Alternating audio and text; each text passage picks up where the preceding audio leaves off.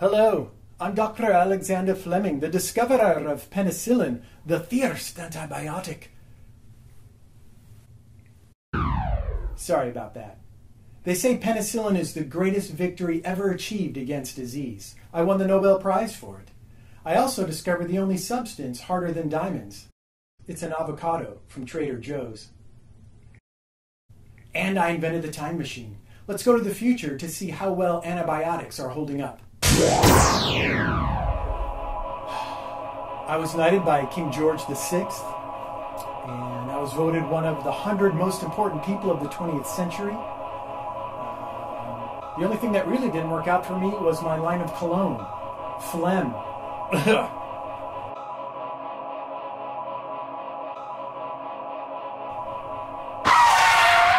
Here we are. Siri, tell me about antibiotics. By 2050, the overuse and misuse of antibiotics has allowed some germs to become resistant to them. These superbugs have multiplied and spread, causing 10 million preventable deaths a year. Oh no, what have I done? Will humanity survive? There's only one way to find out. Join us next time on Oh No, What Did Dr. Fleming Do?